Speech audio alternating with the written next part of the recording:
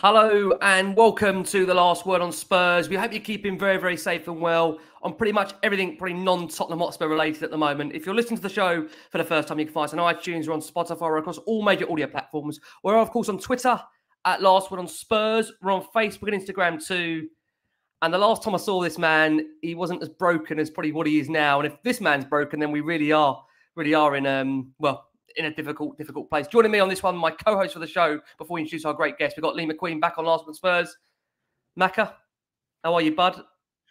Yeah, I'm all right. I'm not too bad. I'm just, I'm still fighting my way through the forest of abuse from Arsenal fans after my, uh, after my little episode on Sky Sports, which, by the way, I was absolutely fanboying and loved it to pieces. So uh, I don't care what the Gooners said. I, I, I, I picked a team to, uh, to rile them, and I definitely did that.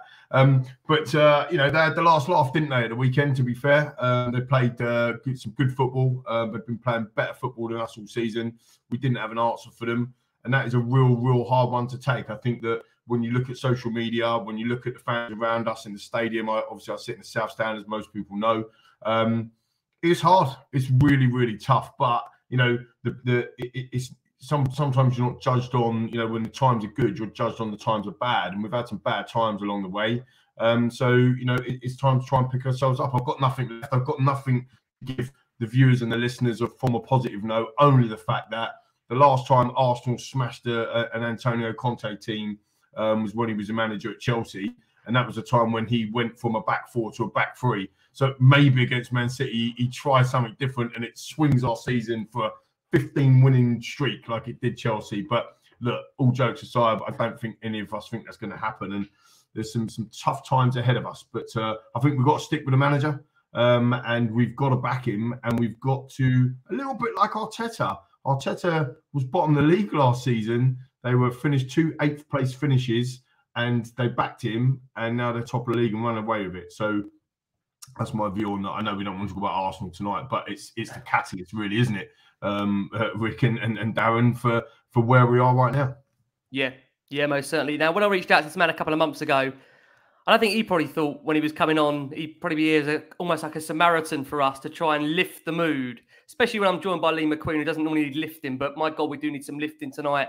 And to understand exactly what's happening with our football club at the moment, we're joined by the brilliant uh, Daily Mirror football correspondent, Darren Lewis, back on last word on Spurs. Dal, thanks for giving us so much of your time. How are you, my friend? I'm really good, thank you. Uh, thanks to you and to Lee uh, for having me on, and um, to the warm reception as well that I've had for coming on here. I'm just really sad and sorry that I'm coming on at probably your worst moment of the season because not just losing in the fashion that you did to Arsenal, but also finding yourselves in a position where you're looking up at Arsenal when you were looking down at them last season. And, you know, I know, Mackie, you were saying that you don't really want to talk about Arsenal, but it, it, it's, listen, everyone listening, you, they know how it works. You know, it makes it even worse that you see your bitter rivals across the road or down the Seven Sisters Road just flying at the moment and getting everything right. And even when things don't go their way, you know, you saw last summer they missed out on Douglas Luiz on deadline day, and then they end up seeing, you know, Partey running midfield alongside Xhaka and everything kind of falling into the place. And you do need a bit of luck as far as transfers are concerned, and they've had that. You guys, you've had no luck, and things have gone to horrendously for you. That's funny because uh, me and Lee were joking off air saying there should be a quiet one tonight, not much to discuss. only the whole Honestly, basis of the only the whole basis of the football club. You know, I thought having that World Cup break, my wife said to me, it's the most relaxed and chilled she'd seen me in six years. And I think the last week it looks like I've aged about 10 years from this football club, what it's doing to us. Honestly, quite is when you're doing, obviously, we love doing Arsenal and Spurs. We know we're here after every single game mentally it's test. We know it's only football, but obviously to many people, um, football is our lives, and you know it's what we wake up to, it's what we go to bed to. We dream, we have that right to dream as football fans, and I don't think we should ever stop dreaming. And um, look, as Billy says there, Darren's voice is very soothing. We're going to need a lot more of that, most certainly in this show. But as I always sound last word on Spurs, I think there is that conception that um, there's certain topics off limit. There's nothing anything off limit on last word on Spurs. We discussed the board, we discussed the players. We discussed the manager. And if you've been listening to Last Word on Spurs over the last five, six years, we always do that. you know, we don't do that in an element of where it's, swearing and it's shouted and it's ranting. We try and do that logically. And that's why, like I say, we have on wonderful guests like Darren that can try and help us understand exactly what is going on with Tottenham. We are conscious that Conte has held a press conference today. We will bring that into the element of the show. But I suppose we have to start right towards the top. And I know many will probably want to start on the board. We are going to start with the ball. But at the moment, we need to try and understand what's actually happening with the manager. If we can try and understand what's happening with the manager, Dow, look, I'll be honest. I think the biggest problem with Spurs at the moment is that it feels like the club is, in my opinion, pretending to be something that they simply aren't willing to be at the moment. I think when we hired Antonio Conte, he was aware, and we were aware as fans of what he would have demanded as a head coach, as a manager, to be successful at Tottenham. Now, it just feels at the moment that the club is heading into such a lack of a direction where we're not being given any real communication as to what's happening at the moment. We're 17 days into a transfer window, and it feels from the outside looking in that we don't even know who we're buying the players for, whether it's for this manager, whether it's for another manager. Conte just seems, I can only look at his press conference for me personally, reading body language. He just seems like he's going through the motions at the moment. He seems like a man that has got the writing on the wall. And bearing in mind that Spurs are in a position where they've lost four of their last five league home games, they're currently five points adrift of the top four, with City to come on Thursday. Are you able to give us an understanding, in your view, of just what is happening right now at the football club? Well, there is general concern. There, there is no point sugarcoating that. If you look at the top four, Tottenham have played a game more, yet the top four are to five points clear, and they're very likely to pull away. There is a slight smidgen of hope, if you like, in so much as City don't look like the City of last season. They've been unconvincing the last three or four games, and so there's a real chance that you could maybe go into that match believing that there are vulnerabilities that you can take advantage of. But certainly, alarm bells. Do I want to say alarm bells? Conte's press conference was fascinating this afternoon because he did talk about why other people at the club didn't speak. He he's somebody who doesn't like to be the front man for things that he clearly, given what he was saying, doesn't agree with. And so, uh, and we know what kind of club Spurs are. Like any club, to be fair. I remember Scott Parker at Bournemouth earlier this season came out and said a, a set of things that the ownership didn't take kindly to. Um, but you know what you get with Antonio Conte. He's a very honest guy, and he finds it hard not to be. And I, I saw someone just messaging a second ago saying, "Look, uh, Conte talks in riddles." Uh, what Conte does is get as close to saying what he wants to say before he bites his tongue. And clearly, what he seems to be suggesting is that he has a frustration at seeing Arsenal so dominant, so decisive in the transfer market, and so far clear of Spurs, given that Spurs finished in the top four at Arsenal's expense last season. And to an extent, I think he he, he does make uh, you know a, a, point that you can understand. Here's the thing though, when all of the transfer business was done last summer, I bet you both and the people listening at the moment were very happy with the business and very happy with the depth. Would that be fair? I'll be honest. I mean, uh, Lee, you want to go first?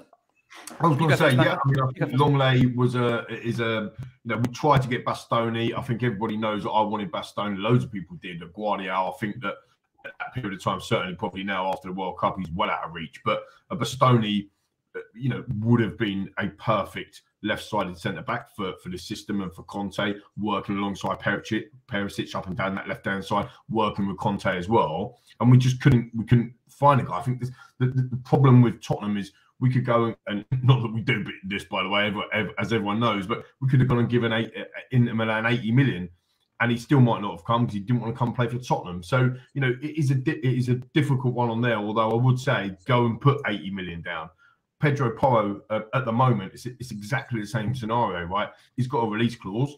Go and pay the release clause. I know there's complications that might happen behind it. Some people understand and some people don't. But in the, at the end of the day, the player wants to come, the club wants to sell for the price that they want to sell you know, there's always that happening at the board level. It, it never seems to be the same. You know, it's always the same. Do, do, you see where I'm coming from? So, but coming back to your question about the summer, yeah, I think you know the amount of signings that we brought in. Perisic has been fantastic, eight, nine assists this season. Um, you know, Bissouma, in hindsight, not a good signing, but at the time, absolutely outstanding signing. He was one of the best outs, probably outside the top six midfielders in the Premier League. He was a superb one. Um, so to bring in Lenglet as a, as a kind of a stopgap because we couldn't get our number one target, you kind of go, okay, we can work with that. But now, actually, when you're looking back on it, and bearing in mind we've had a record start to a Premier League. This is not like in the last five years, in the last this is ever in 30 years, it was our best ever start for a Premier League. So the the reality of the of of the drop off, Darren and Ricky, has been it's just been monumental. It's like it's absolutely five points outside of the top four, and they've got game in hand. Rick said to us on the WhatsApp group the other day, "We're going to get nowhere near the top four, and I absolutely battered him for it. I was like, "What are you on about?"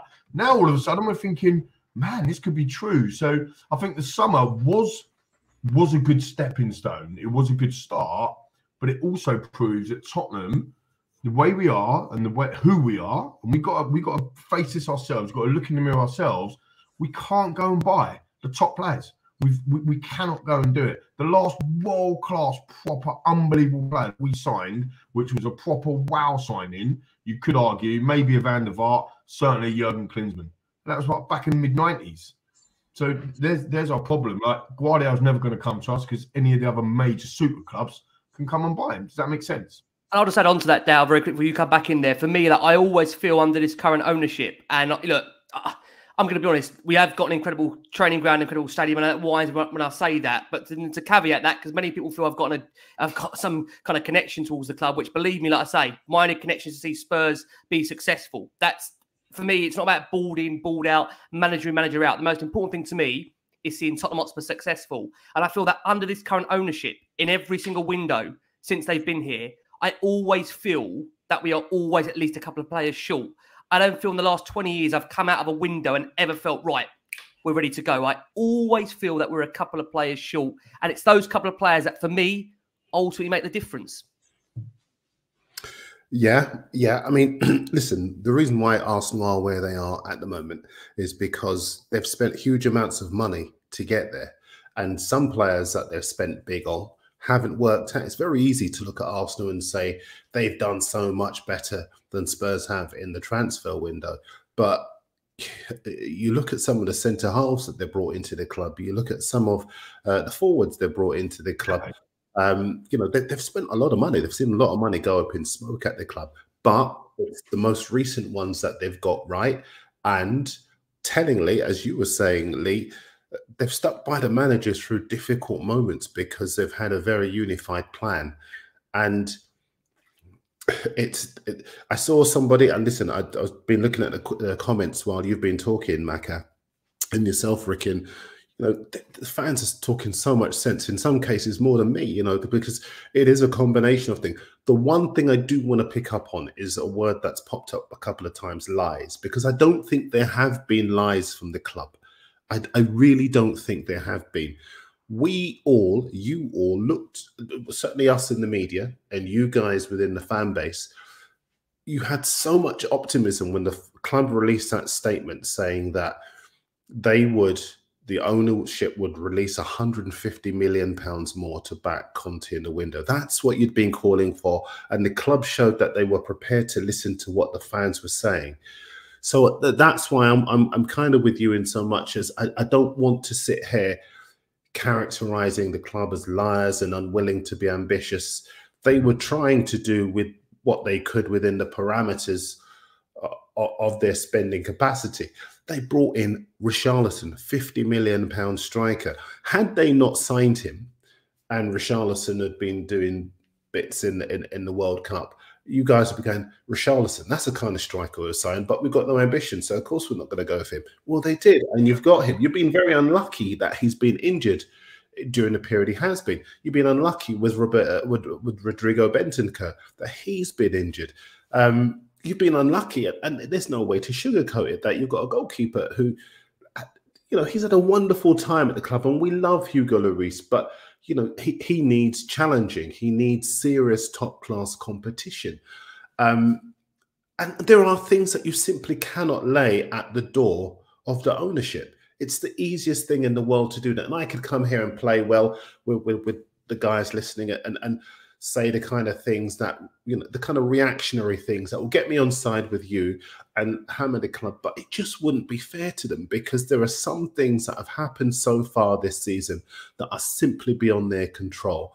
And everyone's grasping for the key reason the one thing that has seen the club fall behind. And everyone is desperate to demonize Daniel Levy because it's the easy thing to do. Lots of people have grown up on Levy taking stick from fans, but the facts are there they released that money, they spent it, they provided that depth. Remember when people said a decent striker won't come to the club because they don't want to sit on the bench behind Harry Kane? You know, you've got Richarlison who's come in there, and you're right. Maybe it might take a little bit of time before Bissouma becomes the player that you want him to be, or the player that was at Brighton. Um, but you know, sometimes players need time. Brian Hill, when you first signed, signed him, and people said he's so raw, he should be in the butchers and suddenly um, he looks a player. And I was at.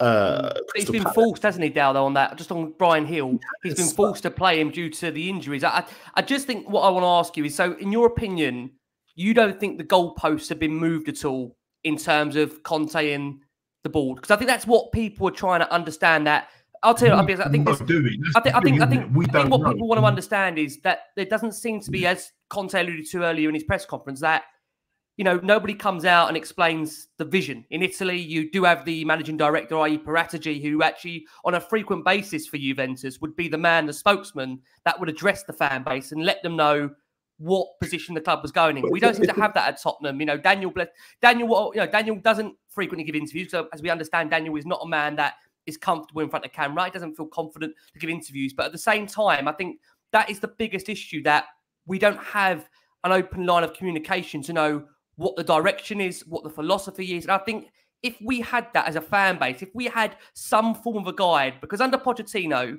whatever you say about Poch, we all knew what we were building for. We were building towards a brand new stadium. We were building towards that. We had a young, vibrant team that, as we saw towards the end there of a cycle, needed refreshing. We decided to not give Pochettino that rebuild. And almost now looking at it, we've spent 18, 24 months with Jose. We're here with Conte. And my problem is that I don't know what has happened in between that time right now. And we've seen to there's been massive blurred lines as to what the vision is. Now, I'm not saying the club have to come out every window and tell us that or every month and tell us that, but I feel where we are right now is that there is such a lack of a direction as to what we're trying to achieve that if that would be addressed, I think a lot of this anger and frustration would calm down and I don't think it helps when you know Conte, as I've said in my lifetime, one of the best managers. I, I think you look at his CV, five titles in the last eight seasons. I, I can't understand why he almost talks about Tottenham as if we're a mid-table team. That, that's another thing that I, I am getting rolled out about when I see him on the press conferences. And I know, listen, Ali Gold, massive respect to Ali, and Ali makes that point that you know it's almost like he was at a Michelin star restaurant before and is now being served up fast food at Tottenham. And I do, I, I do have to agree with that because you know Spurs, although listen, we're not an elite super club, but we have in the last four or five years gone and attracted those managers, and that's my biggest frustration. If you're going to go and attract those managers, they have to have sufficient backing, and I think that's where the frustration is. Is that in this process in the last four or five years, who is moving these goalposts? Because the trend just seems very, very coincidental that this keeps on happening, Darren. Do you see where I'm coming from? Yeah. Yeah.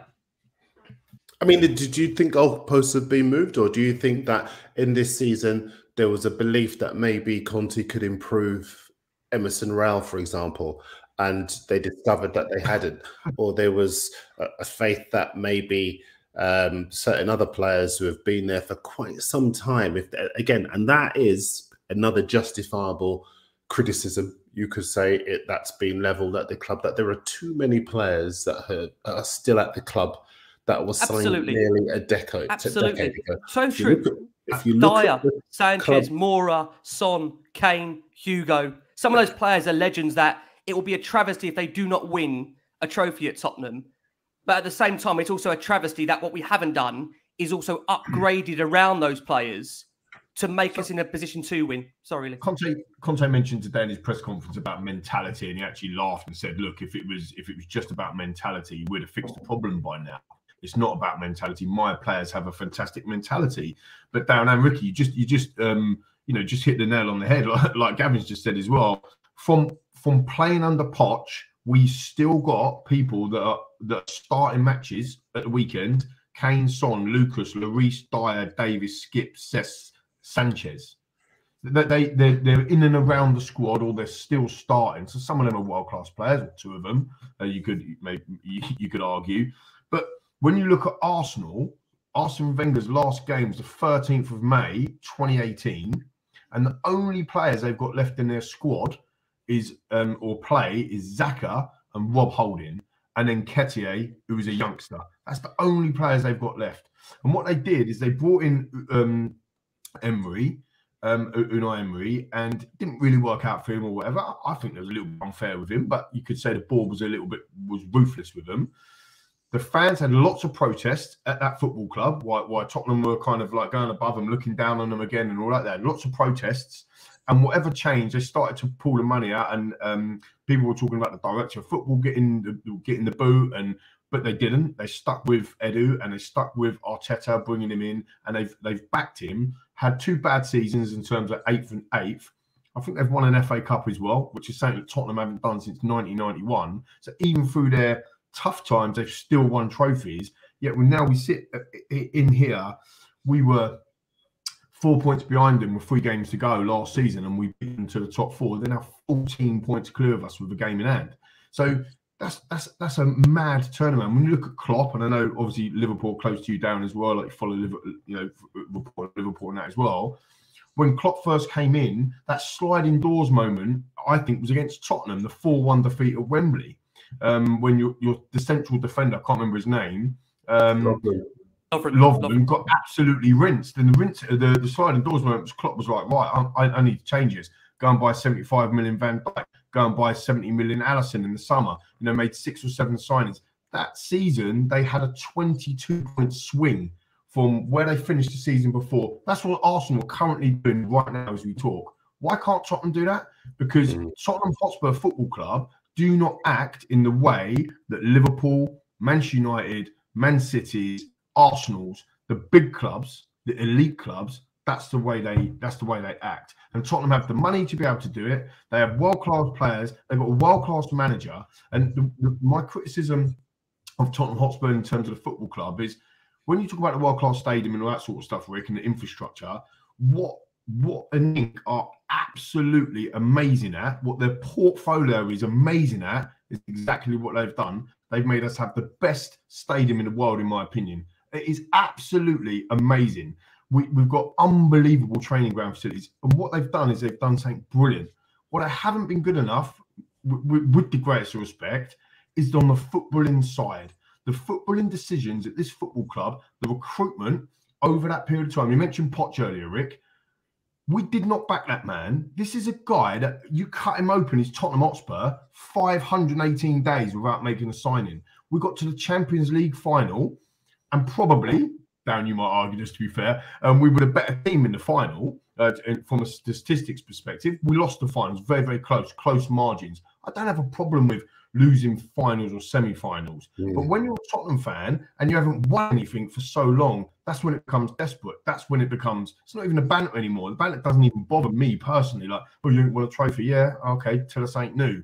It's the fact that nothing changes every mm. single time. Harry Redknapp. Oh, I could go for I could go for a title push. He gets Ryan Nelsen. You know, um, Joe Rodon uh, comes in instead of a Skriniar for Mourinho. Like, you know, we wanted Bastoni, we get Lenglet. I mean, it's constantly on the go every time. And what breaks me the most about the weekend, I was there, um, obviously, like, like everyone else was, um, in the stadium, 62,000 people. And if you analyze it, if you take the emotion out of it, we didn't actually play that badly in the second half. We didn't actually play that bad. And you know, if you know, we Rick, we actually didn't. If you, if I don't think you. I, I want to get. I want to bring Dow back in, but I don't think it was at the. It was not for me at a level enough. But what I was, yeah, I was going to just, just let yeah. me finish on that. What I was going to say was, is that we didn't actually play massively bad, but because of everything that's going on and the fact that we didn't, we, we couldn't break that down. The, the, the biggest game at home when we ruined them last season, absolutely, what was Gary Neville's words, we beasted them, that crowd beasted them.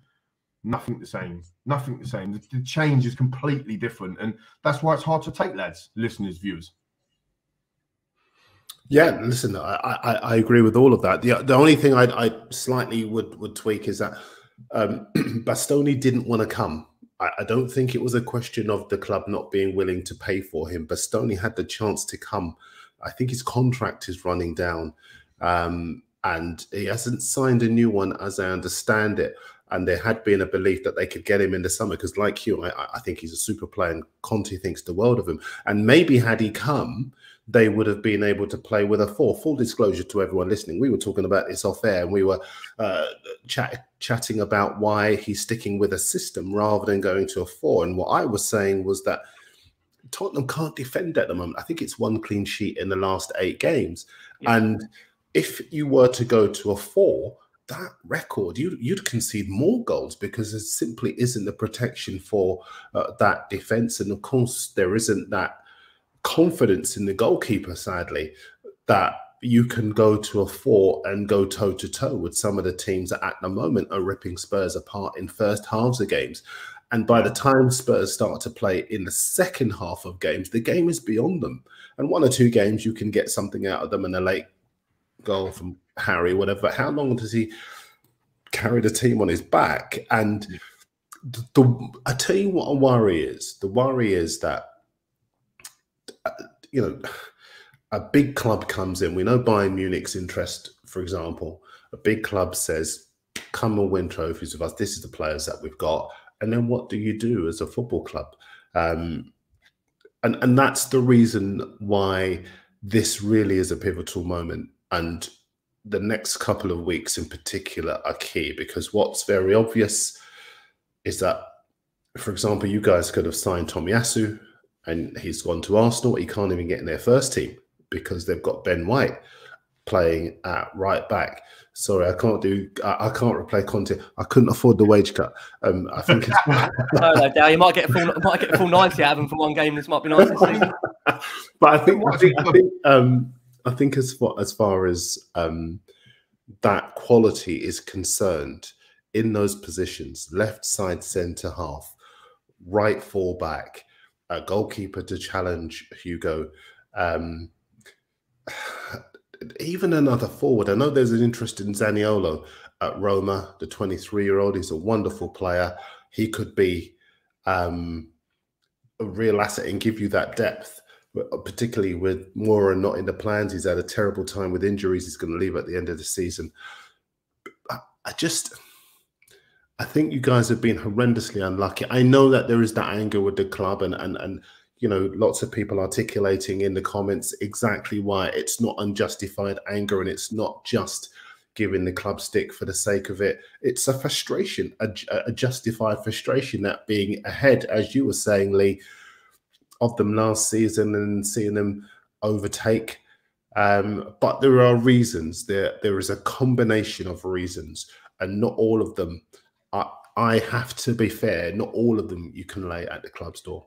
Can I ask you, Dal? Because I, no, I think I think lots of people just want to want to know this question because we're a half an hour when we actually haven't asked Dal probably the, the, the million dollar question. And as I say this, uh, the Tottenham Hotspur Supporters Trust have just now released a, a, further statement to what they asked a couple of weeks ago. And they've actually asked for clarity, not in February, but now. So just to bring down into context that if you're not aware, a couple of weeks ago, uh, Darren, the Tottenham Hotspur Supporters Trust put four questions towards the board predominantly one of them about the vision and the lack of communication from the club. The club responded and said they are very keen to answer these four questions, and they will do that upon the closure of the January transfer window in February with Fabio Paratici, the managing director, who will be giving a statement on the back of that. And from that, we've seen today on the back of Conte's press conference that it seems appears that Conte asked for the same thing in terms of you know outlining the fact that it's not a habit we see in England where the managing director talks out in terms of giving giving that vision.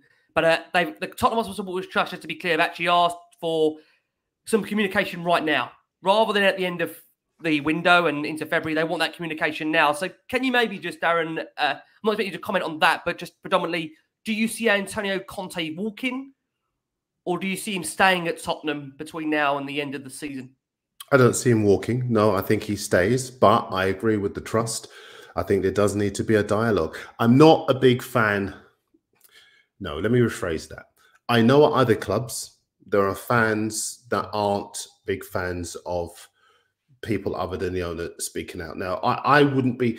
I, I'm in the information business. I will never apologize for wanting to hear from as many people as possible. So I cannot possibly sit here and say I wouldn't want Paratici or Daniel Levy or you know somebody at the club to come and speak on behalf of the club and provide the clarity that you are saying and the trust is saying that they would like to have. All I'm saying is that other clubs and when the likes of David Sullivan at West Ham, for example, would speak out, a lot of the fans would say, "We don't want you to be speaking all the time. Why don't you know? Why are you coming into the public domain?" And understandably, Sullivan listened to the fans and he said, "Look, I'm going to leave it to the manager." And sometimes it's very easy to say that you should have other people at the football club talking about certain things, but then what happens is they come and they sit in the hot seat and they speak, and then someone asks them questions that would be more appropriate for the manager. So, and, and then they say, "Well, I can't answer this and I can't answer that." Um, I think, as far as the trust is concerned, however, I do wholeheartedly agree with the idea and the demand for clarity because there is genuine concerns there, there, there is anybody who looked at the way that the club played at the weekend could see that there are glaring deficiencies in the side that aren't to do with tactics and are to do with personnel. Anybody who looks at the squad can see that there are key areas where the club is deficient. Morale at the club within the squad isn't as high as it has been in the past.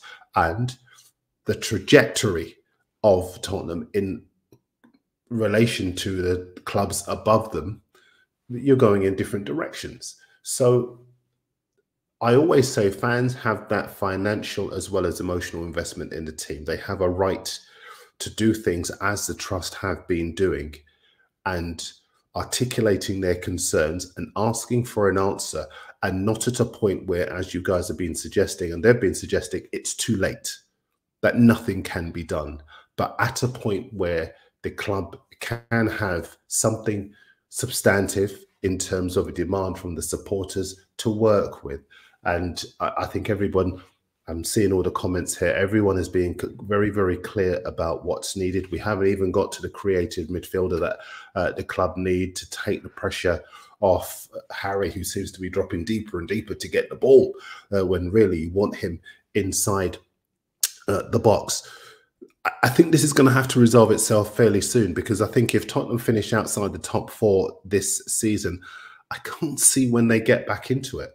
Arsenal are building. They have a very, very young team. Newcastle have the finance to go again and a superb defensive record. United are resurgent and they have a wonderful manager with a superb transfer strategy. And City under Pep Guardiola are not going anywhere anytime soon.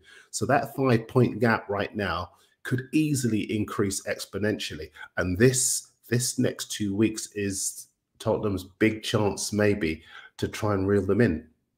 The worrying thing is, Dal, we've been speaking for half an hour. I feel like we've barely scratched the surface. That's what's actually quite scary about Spurs, is that there is so much I could ask you about. I know we're uh, got to be conscious of time. I know people love that Last Word On Spurs, but there is so much I still want to ask you about. To, Darren nearly said it for you, but there's a lock picker in there. I'm I'm pretty sure there was. We're going to ask him. What we are...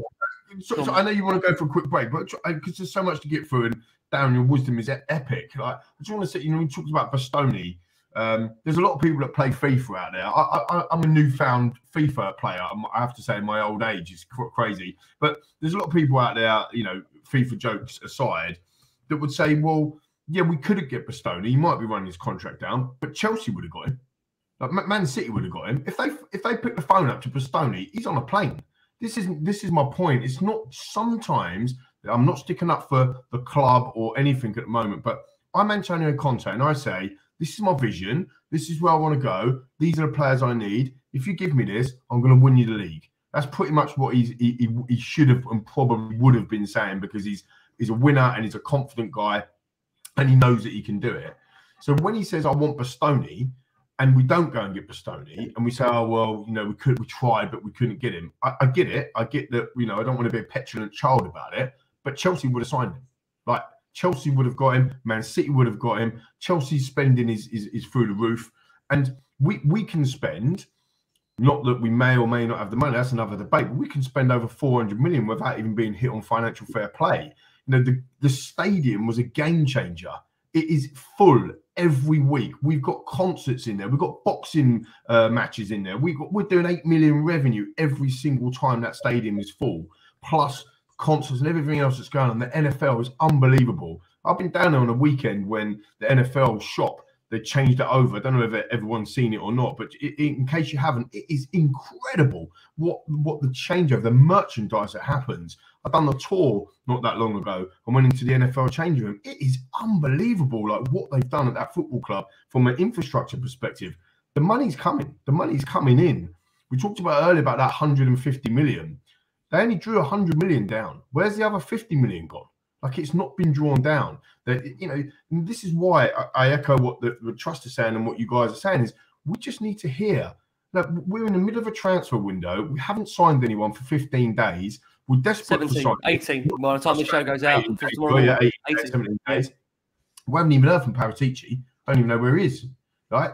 And and and, and ultimately, what scouting staff brought in Simon Davis, we brought in the guy from Everton. You know, we changed our entire and everybody just still talks about Levy.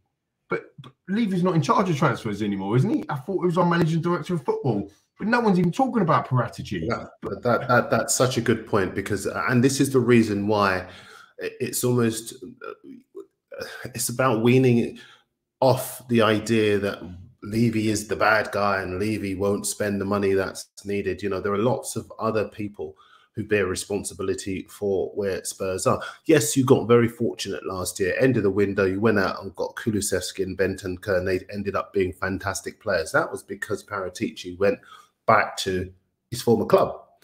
But so where is the work that's being put in to get the players that Brentford managed to get and Brighton managed to get and sell on for huge amounts of money? Trossard now being hawked around uh, Caicedo being hawked around. Cucurella's gone to Chelsea for 62 million pounds. Uh, and then they go away and they get Estupiñán and bring him in uh, cheaply in relative terms. It, it isn't all on Daniel Levy. And, and I think there it, it is fair to say that one trophy in 22 years doesn't read particularly well. And it is true to say that if that is the case, then maybe the way of doing things hasn't worked. And maybe it's a question of throwing money at it, or maybe it's a question of better scouting and bringing in better young players who can reach their potential and go on to bigger things at Tottenham. And then if you do surrender them, and everybody knows there is a food chain, you're selling them for big money that you can reinvest in the team. So it's a wider debate rather yeah. than perpetuating this idea that fans are being sold lies and this, that, and the other, because I don't think that is the case. And I don't think it helps this debate at all that around the club, if we are basically, you know, hurling stones at people rather than thinking about the way things work uh, in the round. Before we do go for our first break, just want to say there's over a thousand of you watching us live. So again, thank you so much for all of your incredible support for Last Word on Spurs. Difficult, difficult show. Uh, but we're joined by the wonderful Lee McQueen and Darren Lewis from the Mirror here.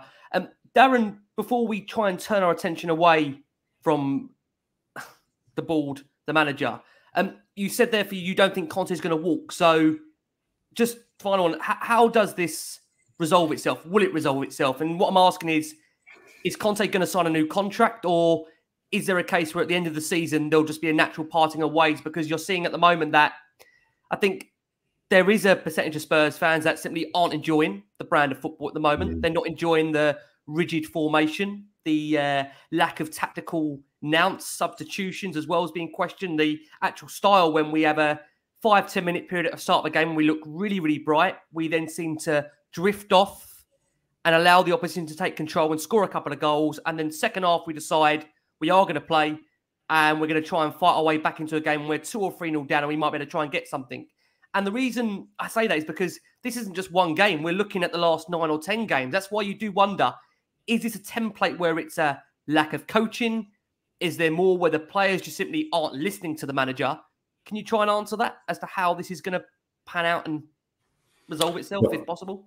I don't think Conte is going to walk away. I think, well, certainly not this month. I think there is the potential for that to happen in the summer, certainly, if the players don't come in uh, that Conte wants, that Conte believes will help the club to compete. Conte is not a man who competes outside the Champions League or for the Champions League places. He wants to be where Arsenal are at the moment.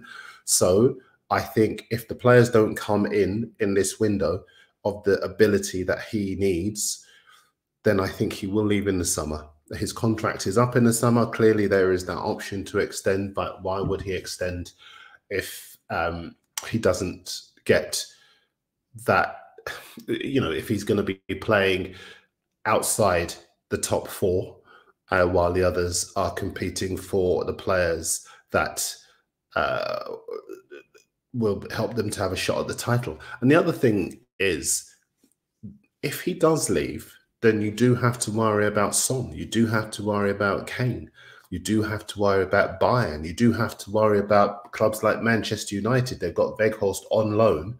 But in the summer, when Weghorst goes back, if Manchester United say, we're back in the Champions League, we're a striker away from uh, competing for the title, come and join us. What does a Tottenham, who don't have the capability, the squad at that point to compete for the title. Say to Harry Kane, how do you keep him given he hasn't signed a, a new contract and his current deal is running down?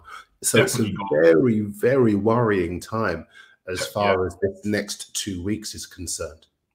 It's like we were saying earlier, Darren, isn't it? And, and Ricky and all the viewers and listeners, some, some people in the chat saying, you know, that you obviously haven't been watching the whole show, to be fair, but we were saying right at the beginning of the show about um, th- that that doors moment and ultimately, you know, the, the board and the club backing.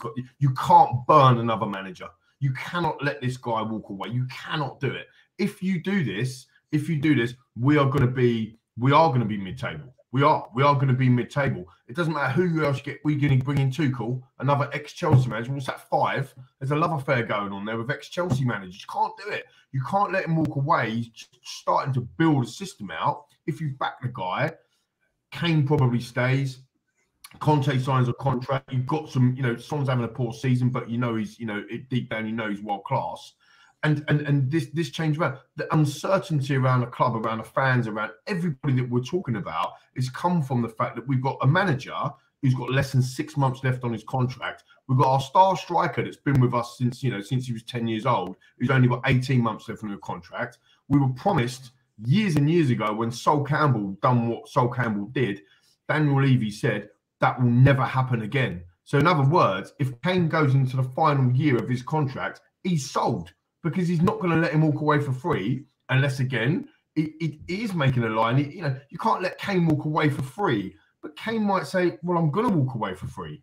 Do you know what I mean? Like because he, he might st- stay around another year. So this situation around their contracts, we could have sorted this out in the World Cup break. We could have come back from the World Cup. I'm just saying we could have done this. Tottenham Hotspur Football Club we could have had Conte, uh, uh, Conte sorry, on a two-year extension. We could have, based on that uh, two-year extension, we could have then signed Kane because Conte's committed his future.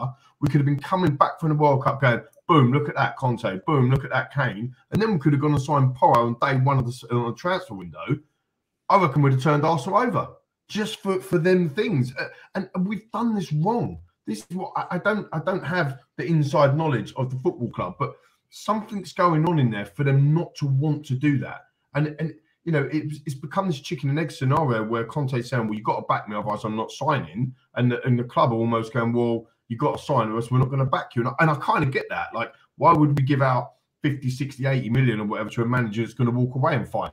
So he's just not going to yeah. do that either. So, but but the, the intelligent people that are at this football club and Paratici and Conte, they need to sort it out because yet again, it is us, the people that pay our money every single week, that are the ones that are hurting and the ones that are seeing clubs around us yet again just fly off into the distance.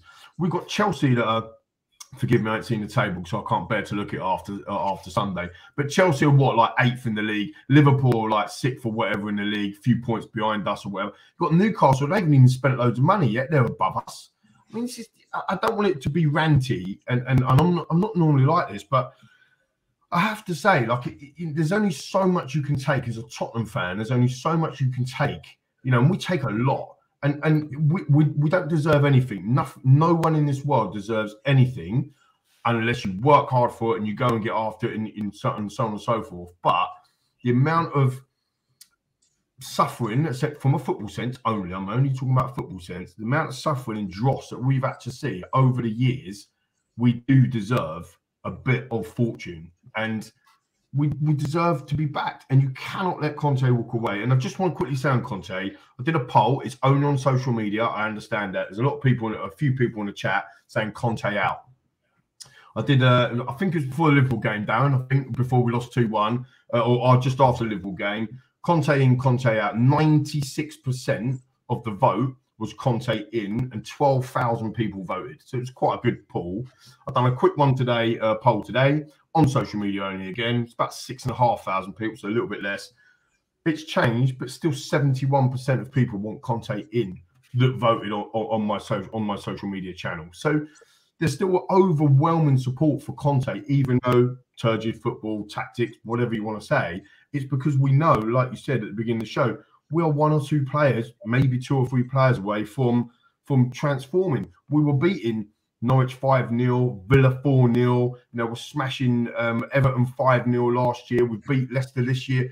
We've got it in us. Our best start ever to a Premier League season this year, viewers and listeners. It, it happened. So, as quickly as Arsenal have turned it around, we can turn it around. But we Lee, won't unless we're back. Can I ask you, Lee, it, it, and, and maybe everyone listening, I'm seeing all the comments still coming in. If for those people who do feel that Conte should go, who would you have in? Because me personally, I think if you lose Conte, it's hard to suggest that you're an ambitious club anymore, given that you have a guy who knows how to win titles, who knows how to win the Premier League title, and who knows how to build a team and set teams up. And again, very quickly, we talked about it before at the show. You play a five because Spurs can't defend at the moment. But if you do get that quality, then you can open up and have that extra man in midfield in attack. So if you were to lose Conte, who would you have? I think the resounding name coming out is still Pochettino, which tells you everything about this football club that I don't know whether I, I've, I have tried to steer away from this. I do want to ask Darren about several a number of transfer targets. Now, again, I'm conscious that the time's ticking away, and I do want to squeeze these in. But the thing with Pochettino, Dow, is that you know ultimately there's a man at his peak. There's a, there's a man at his, there's a man at his peak there that got Spurs into a number of semi-finals. My argument is that I think tactically he wasn't good enough in those finals. Didn't get Spurs over the line. And I'm not going to be a hypocrite. I was one of those people that towards the end with Poch, I felt it was the right time for him to go because number one, the club didn't back him.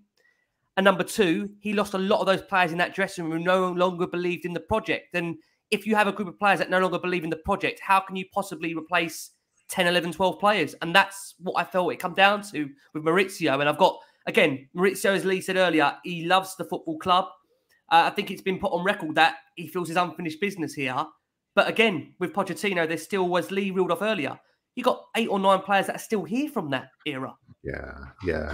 and this is the problem. Sorry, Lee, just very quickly. This is the problem changing the manager for me will not work. You have to mm. upgrade the playing staff. If you look at the other teams that are competing for the title, they have upgraded their playing staff.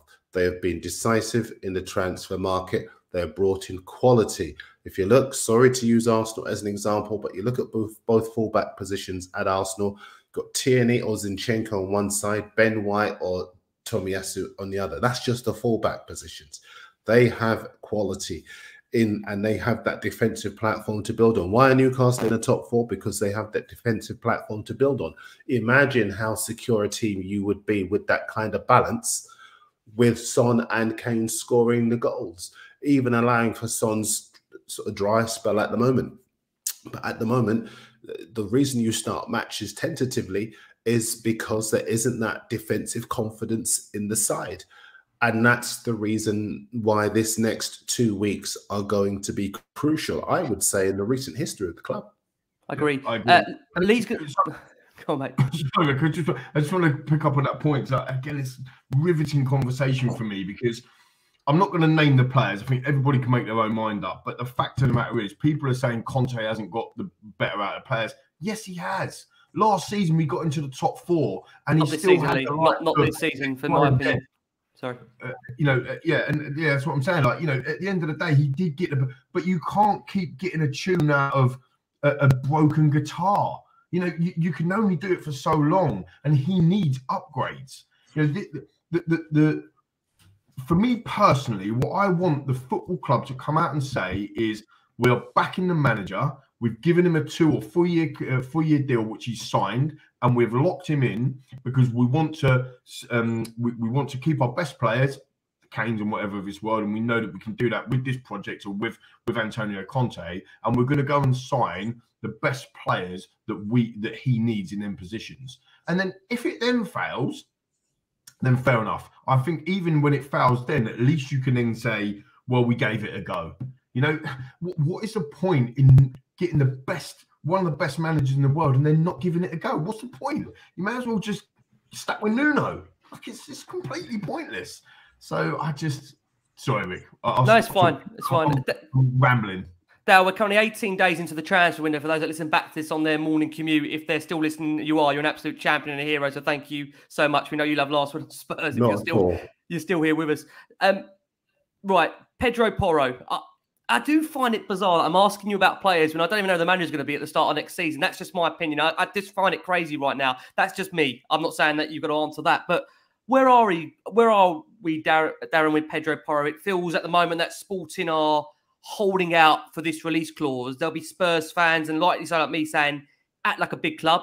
If you want him, go and get him. I know there's that element where a release clause means, especially I think in uh, Portugal or Spain, that you have to pay the full free up front in one go. And contrary to the fact how rich Spurs are, there aren't many clubs that just have 45 million euros to throw at a player. But given if this is a player Conte wants, I have to say that I want him to go and get the player that he needs. So do we know where we are, Darren, with Pedro Porro at the moment? Yeah, what we know is that they won't be meeting the release clause. Um, I mean, listen, the Premier League is cash rich, and, and clubs outside the Premier League are well aware of that, which is why they are able to um, stand their ground and get uh, top dollar for the players that they are prepared to sell. Shakhtar actually a good barometer for that because they knew that Chelsea were good for it. So they held their nerve when Arsenal were trying to structure deals and they've ended up with the player, uh, with the money that they wanted for their player. Porro, obviously, um, it, it's slightly lower profile, but a wonderful player. Um, and they're going to hold their nerve, which is why the two clubs will keep talking.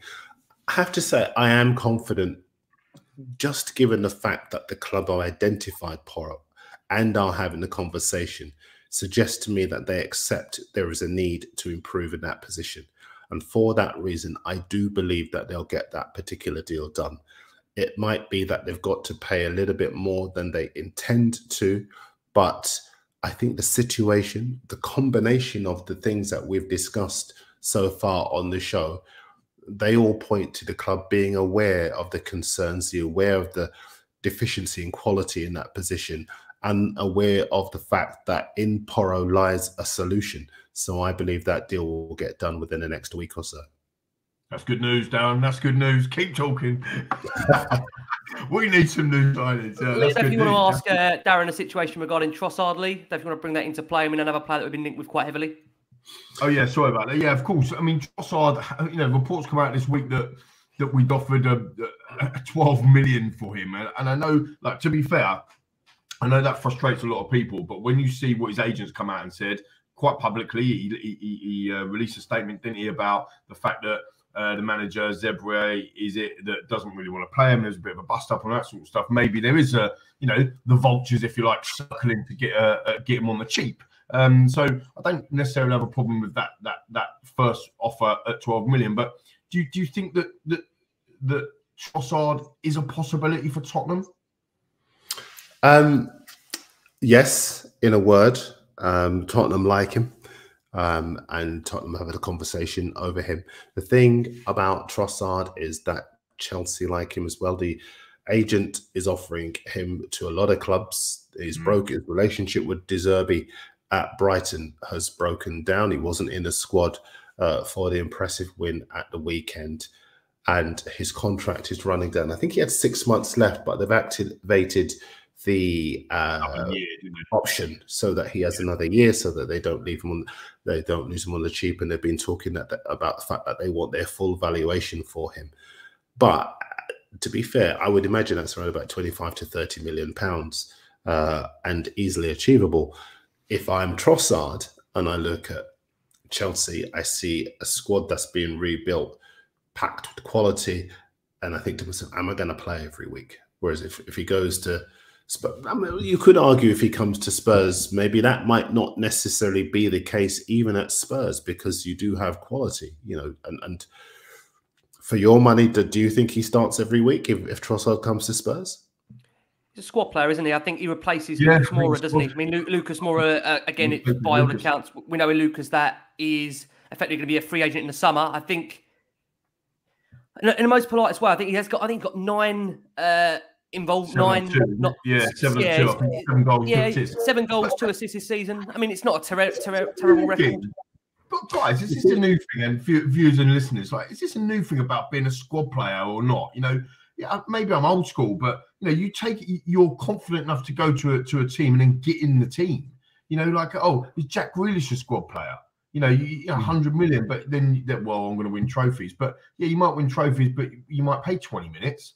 Do you know what I mean? Mm. Like it's up to Trossard to come in and say, "Oh, boss, come and have a look at me. Yeah. Like, play me." Like, isn't it? I don't know. Like maybe I'm too old school, Darren Ricky. No, no, no. I, th- I, th- I think you're absolutely right. It, but Trossard is making the step up, so it's for Trossard to basically show, prove that he has that quality to be able to compete with the sides that, that would, with the players that he's stepping up to, to the level that he's stepping up to from a club perspective. Yeah. To answer the question from before, the conversations are being had, but the uh, the agent, the, the, his representatives are speaking to lots of clubs, so you can't really say with any certainty that that one is is definitely going to happen. Um, particularly given the caliber of club that's in for him. But he's a good player. And, you know, he provides that creativity, that ability to get him behind. He does score goals as well. I like him as a player, and I think he'd be a good signing for Spurs. The only thing I do think, and this is just a personal opinion, I think the business that Spurs do in this window should be defensive. Absolutely. And, and if it were the case that it was at the expense of losing a, a Trossard, I don't think that's necessarily the end of the world. Spurs need to improve their defense for me. Uh-huh. I, I, totally agree, and I think that's the, that's another criticism I suppose that we've we've seen you know, j- just over the last few weeks or so uh, around Conte, where he come out in a couple of press conferences ago, and I'm not expecting him to say these are the players that I want. This is how much we're going to spend for them. You know, this is how much we're going to pay in wage. I'm not expecting that, but he actually come out and said, "No, no, we're okay at centre back."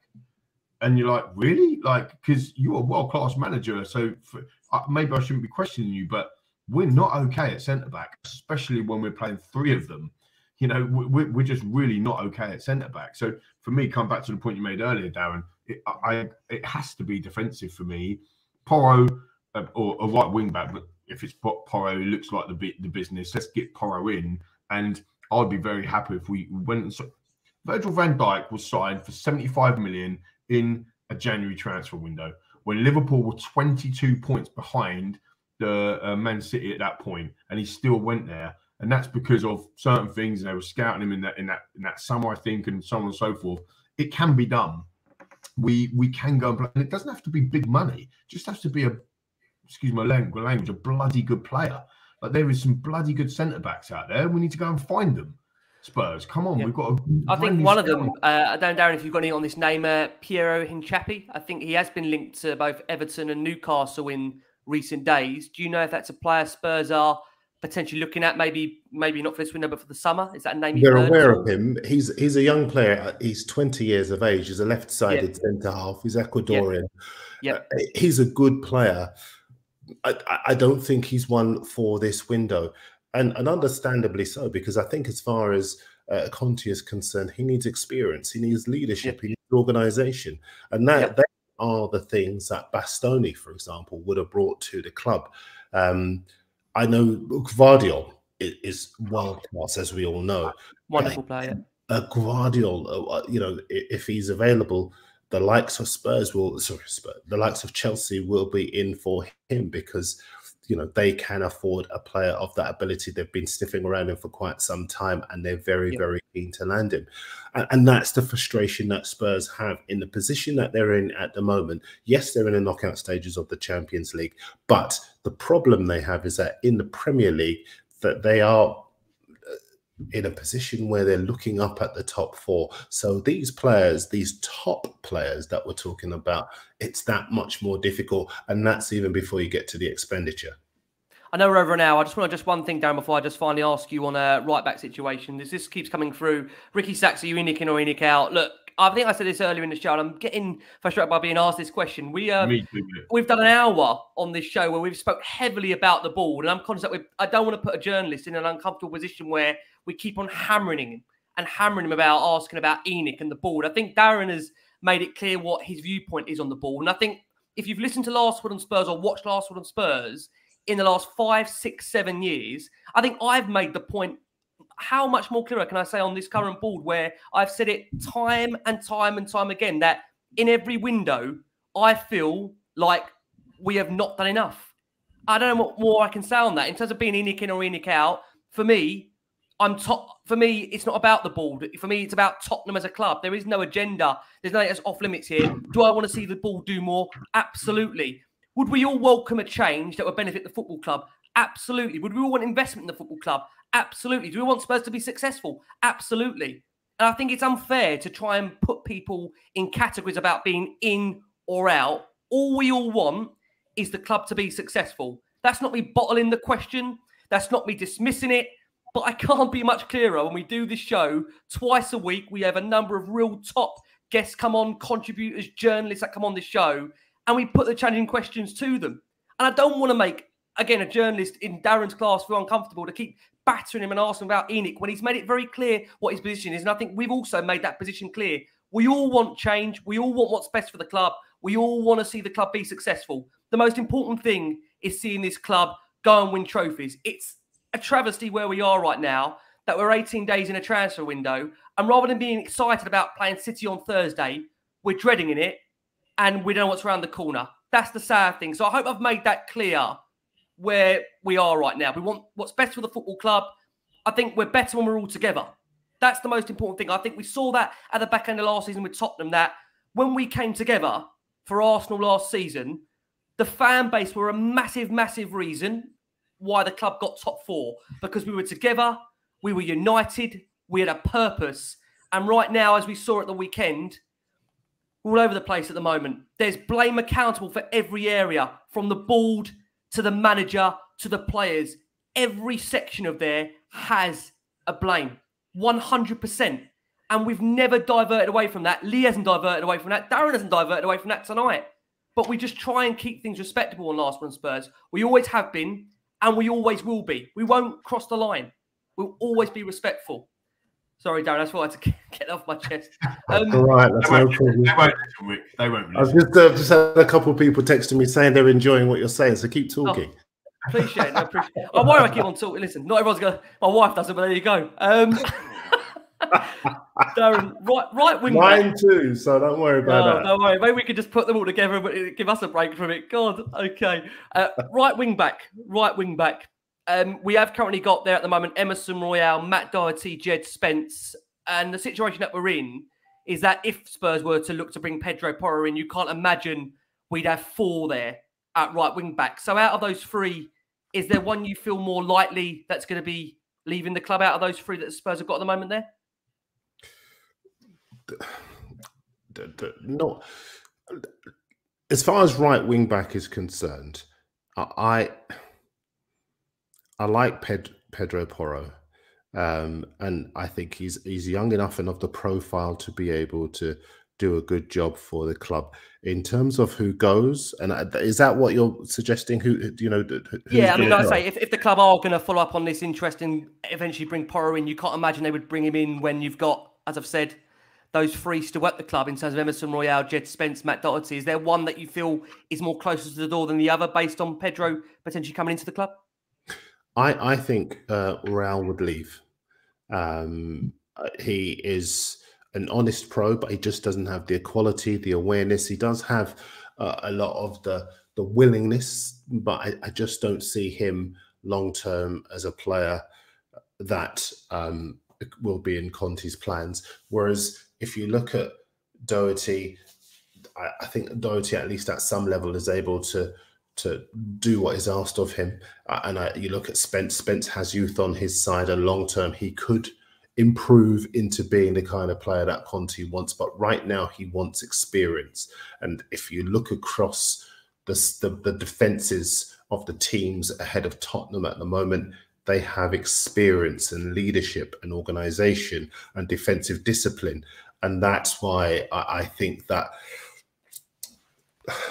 why is everyone on this uh, broadcast at the moment unhappy with Royal? He's not a bad guy, but he just doesn't have that defensive discipline. And when you watch him play, there is always an alarming moment where he's caught out of position, he's caught in possession, um, or he is the weakest link uh, in in that Tottenham defense. I think he'd go. Okay. Yeah, I, agree with that. Um, are we wrapping up now, Rick? Or well, I, I, I say we kept down for over an hour, Lee. Like I say, feel free to eat more. You, I feel like I say we've uh, don't drive the bloke absolutely balmy around, like I say, with the club at the moment. I mean, what are we? We're 18 days in. It's a case of waiting and seeing, Lee, unless you've got anything more to ask, Darren, on the topics. I'm just going to ask about the goalkeeper situation. You know, Hugo Lloris, you know, I've been one of his biggest, biggest fans. You know, I've got some class around Hugo Lloris. I don't think you become bad overnight, but he's made three errors, obviously uh, directly for in, in, the Premier League, resulting into goals this season so far, and probably more in the cups as well. He hasn't had a good uh, post World Cup, should we say? Um, and you mentioned at the beginning of the show that, that, that, there's some efforts to to kind of look at replacing him in the summer. Is there is there anyone maybe that you could see that would fit into Tottenham? I, mean, I, I put a, I do love a bit of a social media poll. I put another social media poll out. It, didn't get that many votes. I think it's about eight thousand or whatever. Uh, but thirty six percent of the votes was Pickford, and, and that would have been my choice to be fair. Um, homegrown, uh, England's number one. I miss I miss singing that since the Robbo days.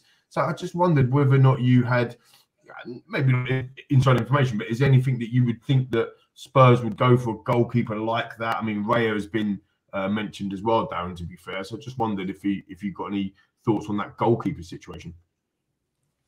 Um, yes, um, I, I, think as far as uh, the goalkeeping situation is concerned, one name that I've heard that to be fair, he has admirers up and down the Premier League. Is Meslier at Leeds? Um, he's a young keeper.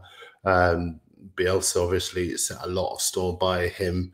Um, Jesse Marsch, obviously, um, playing him at the moment. Bayern Munich, really big fans of him as well. Chelsea like him too. A lot of people like him. Um, Sanchez at Brighton is another one. Who's a really good player. He's a Good player. Um, and he's got you know the the Sanchez at Brighton. He's got that command of his box. He is um, a very good. I, I, don't like to say I don't like the phrase shot stopper because if you're not a good shot stopper, you shouldn't really be a goalkeeper. To be fair, um, but I, I, I just I, I do like him. I do like David Raya at Brentford as well. Um, a wonderful player. Um, I think it's hard to put your finger on which one. I think all of them would come to the club because, for all that's been said and for all the frustration, Tottenham are still a huge club uh, in the Premier League and they do have fantastic infrastructure. They've got a wonderful team as well if they can sort out those areas where they have deficiencies. Um, but I do know that there are lots of players lots is probably stretching it a bit, but there are a number of players that Tottenham are looking at, and they should be. Let's not kid ourselves. Uh, Hugo Lloris has been at Tottenham for 10 years, and he's been a wonderful servant in that time. He's won the Champions League in that time, but there were moments I was at the Wolves game at home last season and the Southampton game at home last season where there were mistakes that were self inflicted. And he would have been disappointed with those. So this is not hammering him as such. But what you do need is a that consistency in goal, a goalkeeper that's actually going to be worth eight to ten points a season if you're going to be challenging higher up the league, and you need that genuine competition for that place. When Mendy isn't playing well at Chelsea, Kepa is able to get in there, and Spurs at the moment don't have that ability to maybe put Lloris under threat enough, and that's a big part of why that position has now become an issue. Yeah, down no, conscious that we've kept you over an hour and ten minutes. Probably the final question we're going to ask you, maybe to close it from your perspective, is that look, we have got what's remaining, what 13, 14 day left, days left of this transfer window. How many players do you genuinely see Spurs bringing in signings wise between now and the end of this January window in terms of a number? That's a really good question. Um, I think for all we've said about the goalkeepers, I don't think that that situation will be sorted out this month. I, I think it will be in the summer when that situation is addressed. Of course, Lloris got the new contract very recently, uh, so he will be at the club regardless of who comes in in the summer, unless he wants to go anywhere else and play regular first team football. But he's such a pro and he loves the club. He's very committed to the club. So I could see him being the top pro that he is. If somebody younger were to come in, staying around to kind of help him uh, and, and help the club as far as that's concerned. How many players would come in? I I would think two left-sided centre half and right fullback, wing back but I'm a little bit nervous that it will just be one, and that would be a concern. I think if you were to get two, and because uh, Romero is a wonderful player, but Dier's I, been culpable for one or two. I'm terrified now. I'm terrified, Daz, of doing this show. If you're telling me it's one-sided, and I, I honestly, you know, I do. So I do love last word on Spurs, but my God, that would be I think now. I think. Listen. I think everyone knows. I've got. I've got. I've got. A, I've got a baby that's due in the next six to eight weeks, and um, I think that's a really good time now where you take over and with Lee and I just go on a break on, a, on a permanent maternity leave. I don't know what you I've got have, coming my way. If you're telling me one sided, at least you can have paternity leave, uh, Rick. You, will get you'll get a break from it, mate. Happy days. yeah. no, I think look, you know, I, I, think that I think you're right. I, I think that the first time in, in what felt like months, we had Son. I know he's had a uh, he's had a terrible season so far, and even he'd be the first to admit that. It was the first time in months that we had Son, Kane, Kulusevski, and Richarlison fit. Um, and that didn't make no difference, did it, to the, to the result of the weekend? But it was the first time that they were back. From an attacking perspective, um, I, think we're, we're we're in better shape now with Bryan Gil actually doing what he's been doing. But we got to sort the defence out. You know, leagues and titles, cups, whatever, they're won on defence. That's that's ultimately where they are. That's the foundation. And when you look at an Italian world world class manager that leaking and shipping goals like we are, it doesn't compute, does it, guys? It's just it's just weird. So I do I do agree. We need to, to get some reinforcements in defence. Yeah. Finally, Dale, where can everyone find the wonderful work you do? I don't. I don't want to. I don't want to send two thousand Spurs fans to your mentions, but uh, uh yeah. to say, not, this, Darren, not Darren's fault, by the way. Too. Now after this, you will, I promise you, Dal, you will not hear from me until the summer. No, no, listen, listen. I tell you what. Point, I, by which point, Dal has changed career by then. yeah, uh, probably. Um, I, I, always love coming on this show. Um, you got it's always a good conversation. You've got a terrific um, set of fans who who, and, and I, I always sometimes when you come on, it's very easy to believe that you, as a journalist, you, you come with, with all of the knowledge and the insight, but actually, it's the fan base who, who, who've got the knowledge and the insight, and um, and you learn a lot so much from not being, you know, journalists. It's very easy to believe that. Um, it, no, it's important to be aware that sometimes the view within the journalistic fraternity isn't the prevailing view. Very often, the rank that you know the fans who pay to get into games, to watch games, to watch players, to watch younger players as well, to watch reserve team players as well, to get an insight into the the, the bigger picture. They are an education to us. So you know, I'm always really pleased to come on, and I'll come on whenever I can. Um, I'll be back on the Super Sunday Matchday show uh, this coming Sunday uh, with Vicky Gomersall, and obviously we'll have a lot to talk about this coming weekend because you guys play Manchester City on Thursday night. Give me a score prediction, guys. God. oh my god! I mean, we are their bogey team. That's the only thing I would say. We're their bogey team. And the last time we went to play them at the Etihad, I think it was back-to-back defeats that we had going into that game. If you if you remember, I think it was the Saints and the Wolves. I think yeah. remember. Um, and we ended up turning them over. Um, I don't know. I can't. I can't see us. I no. can't see us winning, but I'm not. I can't predict a loss either. I can't. I can't do it to. to I can. Team. I can. It's gonna be. It's gonna be three one Man City. I'll go. I'll go one one. I'll go one one It's gonna be three one Man City, and me and Macca are back with you on Thursday for instant reaction to that. We're looking forward to that. Bet we are. The wonderful yeah. Darren Lewis back on Last One Spurs. Lee, thank you, thank you so Absolutely. much. Dal, thank you so much, guys. There you Thank go. You, it's been an hour and 15 of hopefully some therapy. But listen, we're not the ones that have to try and find a solution. So whether that's a good thing or a bad thing, I'll let you decide. But listen, signing out from the wonderful Lee McQueen, from the brilliant Darren Lewis, from myself. Guys, as always, please keep safe, keep well, keep some faith. And as always, come on, you Spurs.